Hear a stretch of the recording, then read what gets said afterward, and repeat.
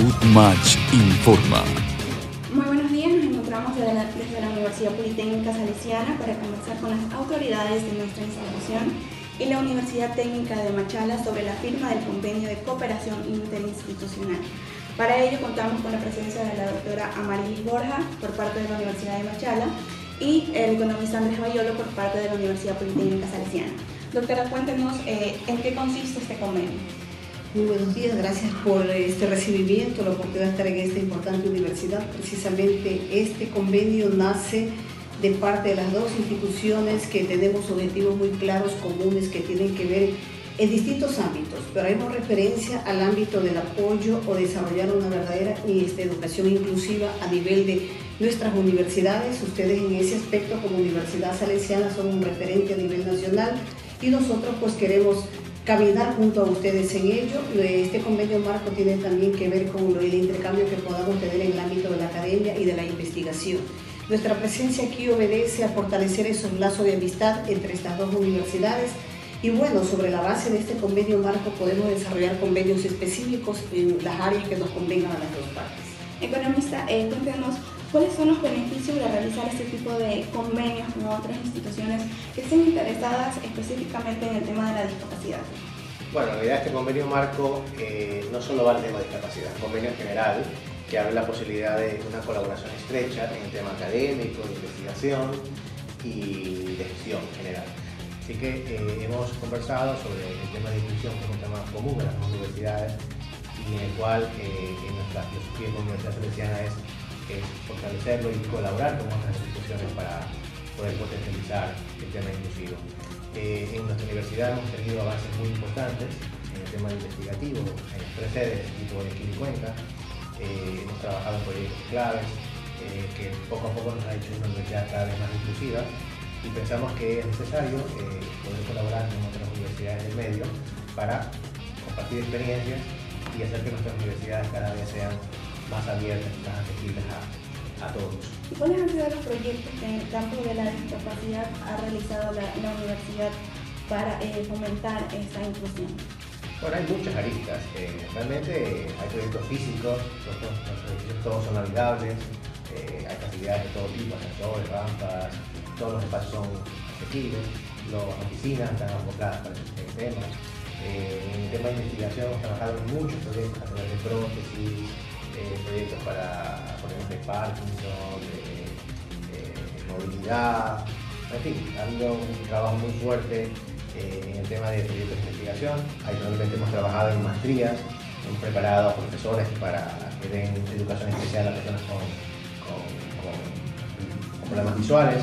Así que yo creo que hay muchas aristas que hemos avanzado, evidentemente todavía hay mucho camino por, mejorar, por, levantar el proceso, pero se ha avanzado. Así que yo creo que estas iniciativas de colaboración nos van a permitir generar este, compartir experiencias para pues, compartir lo que hemos hecho y a su vez eh, mejorar eh, la perspectiva en este campo.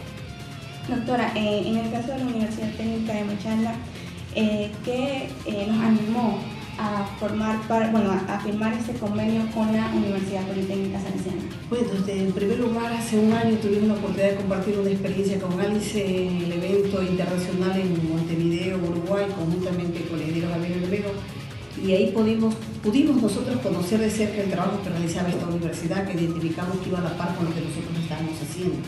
Hemos tenido conversaciones a lo largo de este año hasta haber cristalizado a través de este convenio.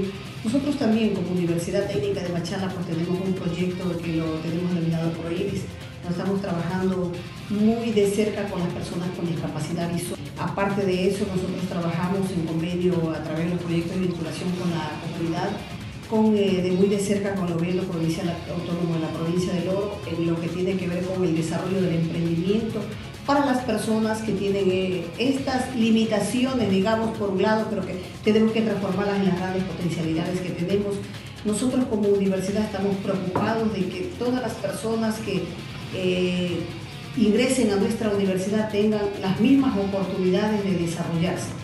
Sobre esa base, pues nosotros estamos caminando, esta relación que la estamos formalizando en este momento, aunque de manera informal ya la hemos tenido en este último año con esta universidad, no dudamos que nos va a fortalecer para que caminemos juntos. Como lo dijo el economista Andrés, pues nosotros tenemos responsabilidades conjuntas en la formación de los profesionales del país y pienso de que sobre la base de este convenio marco van a venir más convenios que nos permita que las dos universidades avancemos. Y de pronto eh, ya tienen determinadas cuáles van a ser las actividades que se van a desarrollar dentro de este convenio. Bueno, nosotros vamos este, a, estar muy de cerca en lo que tiene que ver, porque las personas que me acompañan son específicamente el área de sistemas, en lo que tiene que ver al desarrollo desde la docencia por un lado, pero eh, creemos conveniente que el Congreso que lo estamos preparando nosotros como Universidad Técnica de Machala no lo vamos a hacer solo.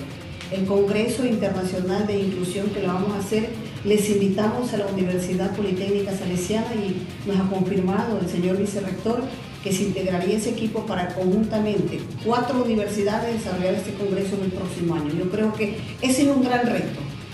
Universidad Técnica de Machala, Politécnica Salesiana, en este momento está la Universidad de Milagro y será una cuarta universidad que se una y yo creo que eso es algo que se necesita para impulsar de una manera más directa, digámoslo así, el proceso de sensibilización porque aquí podemos estar haciendo las cosas a nivel de universidades, pero lo que interesa es sensibilizar para que todos tengamos el mismo norte, el mismo horizonte donde debemos caminar. Yo creo que el gran proyecto que vamos a hacerlo juntos es ese Congreso Internacional de Discapacidad.